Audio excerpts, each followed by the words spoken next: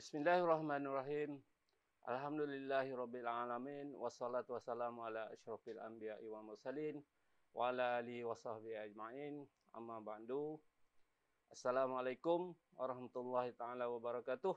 Saya Haji Hishamuddin bin Haji Ibrahim daripada SMK Sultan Abu Bakar Kuantan Pahang akan membentangkan tajuk kajian saya yang berjudul Meningkatkan Kemahiran Menulis esei sejarah STPM di kalangan pelajar semester 1 SABS melalui kaedah gampang bermadu 2 3.0.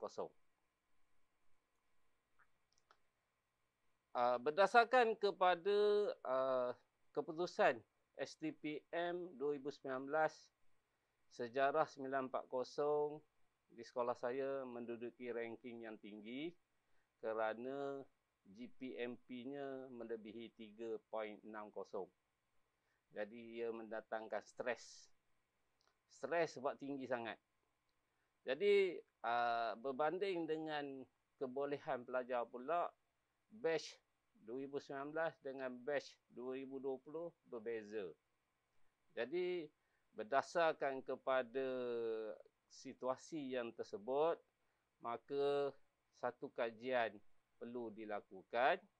Dan fokus kajian tersebut adalah untuk uh, meningkatkan GPMP mata pelajaran sejarah 940 dan yang kedua objektif khasnya adalah untuk memastikan pelajar menjawab soalan esei mengikut format esei yang cemerlang.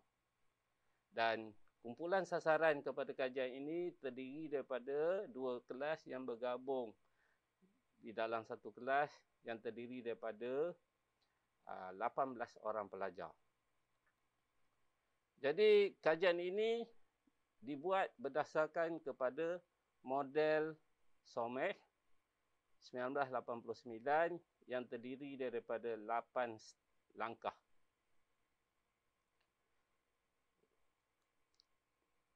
Berdasarkan kepada ujian diagnostik, uh, 18 orang pelajar ni telah mempamerkan prestasi sebenar masing-masing dengan skornya adalah pelbagai dan ada yang bagus, ada yang kurang bagus. Uh, analisa terhadap esei yang dihasilkan oleh pelajar tersebut Rajah ni mempamerkan bahawa uh, dari segi pendahuluan kesemua pelajar ni tak ada masalah. Menge dari sudut mengemukakan isi uh, nampaknya juga tak ada masalah. Masing-masing ada empat hanya seorang saja yang dapat tiga. Yang lain tu uh, ada maaf ada dua yang menghasilkan tiga isi saja. Yang lain tu melebihi empat. Okey. Yang menjadi masalah kepada pelajar di sini adalah uh, bagaimana nak menghuraikan isi. Jadi kalau tengok uh, kolom ini memaparkan bahawa uh, kalau kita tengok dari segi bentuk esei tu ada yang uh, kurus dan ada yang gemuk. Uh, jadi dia tak stabil. Okay, jadi kalau dari segi seninya tak cantik. Okay, itu masalah pertama, menghuraikan isi. Yang kedua, didapati masalahnya adalah uh, pelajar tidak konsisten dalam membuat ayat simpul dalam setiap perenggan isi tersebut. Okey. Uh, begitu juga masalah yang didapati adalah dari sudut perenggan penutup di mana uh, kebanyakan pelajar gagal mengemukakan ayat simpul ataupun ayat ramal. Jadi, secara keseluruhan daripada ujian diagnostik ni kita uh, didapati bahawa hanya seorang sahaja pelajar yang uh, konsisten ataupun mampu menghasilkan esei yang cemerlang dan aku kepada kaedah gampang bermadu dua yang konsisten dan sangat bertepatan dengan rubrik penskoran sejarah STPM. Baik. Saya tinggalkan dulu uh, kolom di hujung ni sebab ini adalah keputusannya setelah dilakukan kajian tindakan dan tindakan-tindakan yang dilakukan dalam kajian ini uh, dan keputusan dia adalah kalau masa ujian diagnostik 17 per 18 pelajar gagal menghasilkan esei yang bagus tetapi setelah dilakukan ujian pos didapati bahawa uh, tinggal seorang saja pelajar yang masih gagal menghasilkan esei yang cemerlang. Apakah tindakan yang saya lakukan dalam melaksanakan kajian ini? Jadi ia bermula pada bulan Julai dan berakhir pada uh, bulan Oktober. Tarikhnya 21 Oktober dan tarikh itu juga adalah sebelum kita mengikuti PKP 2.0.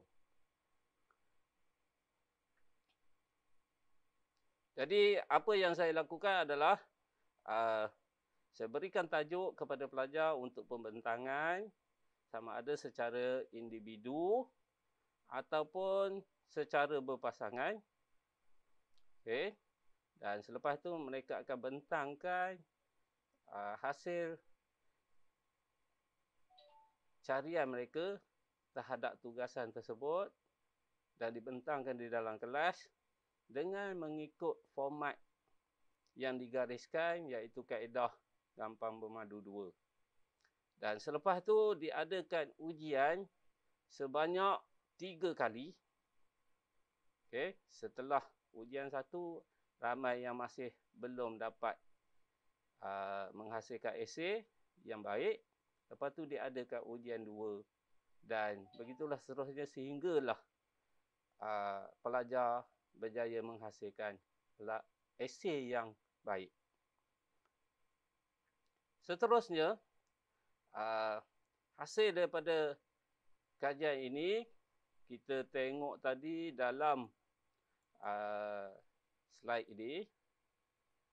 Kita tengok ya, hasil daripada uh, pelaksanaan kaedah gampang memadu ni terhadap pelajar-pelajar ni akhirnya ujian pada kali terakhir itu tinggal seorang saja pelajar yang masih perlu dibimbing.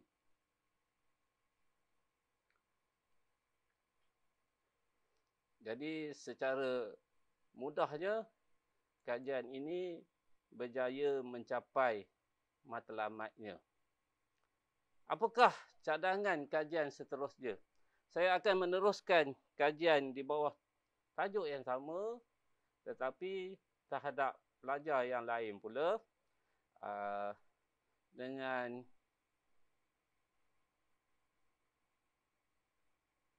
menggunakan kaedah yang sama tapi versi yang berlainan 4.0 dan juga 5.0 dan sebagai nota kaki kepada kajian ini sebenarnya uh, sebelum ini saya telah menghantar uh, kajian 2.0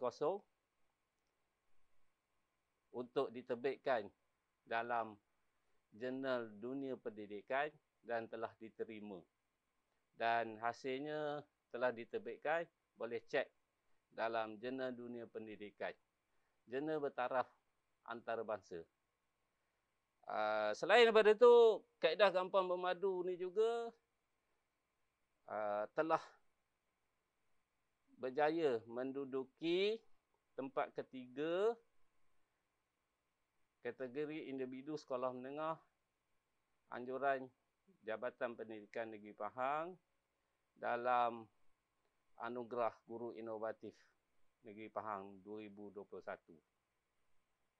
Dan di peringkat antarabangsa sepernah hantar pe penyertaan dalam Edu Innovation 2020 anjuran Universiti Kebangsaan Malaysia dan dianugerahkan sijil ataupun pencapaian gangsa.